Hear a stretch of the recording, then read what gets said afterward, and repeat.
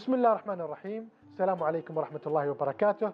أرحب بكم في هذه السلسلة التثقيفية آه، في برنامج ومضات صحية. في هذا البرنامج نحاول أن نطرح العديد من المواضيع الصحية التي تهمنا في حياتنا اليومية وحياتنا العملية.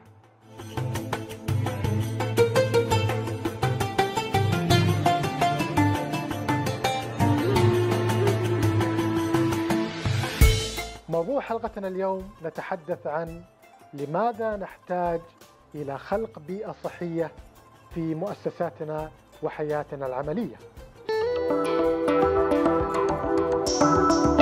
هل تعلم عزيزي الموظف أن الشركات الأكثر نجاحا وإبداعا في العالم مثل جوجل وأبل تقوم بخلق بيئة عمل صحية لموظفيها فشركة مثل شركة جوجل قامت بإنشاء صالات رياضية في أماكن العمل وكذلك قامت بتحفيز وإدخال العادات الصحية لدى موظفيها مثل تحفيز موظفيها لتناول الأغذية الصحية مثل الفواكه خلال ساعات العمل.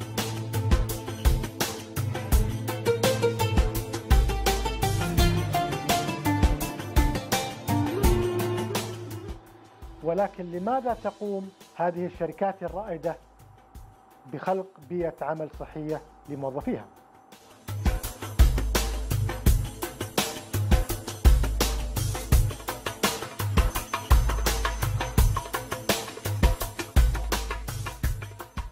خلال العقود السابقة العديد من الأبحاث قامت بمقارنة المؤسسات التي توفر بيئة عمل صحية لموظفيها مع المؤسسات التي لا تقوم بتوفير والاهتمام بصحة موظفيها.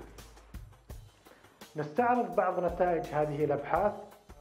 واحدة من هذه النتائج أظهرت أن إنتاجية الموظف الذي يعمل في مؤسسة تهتم بصحة الموظفين تزيد إنتاجيته ثلاث مرات مقارنة بموظف يعمل في بيئة لا تهتم بصحة الموظفين.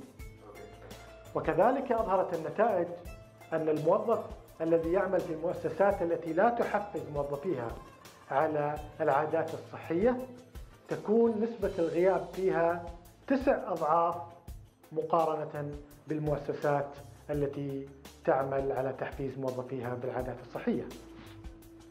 في الولايات المتحدة الأمريكية أظهرت بعض التقارير أن الولايات تتكبد خسائر تقدر ب 1.2 تريليون دولار أمريكي بسبب الأمراض الناتجة من المؤسسات التي لا تهتم بصحة موظفيها.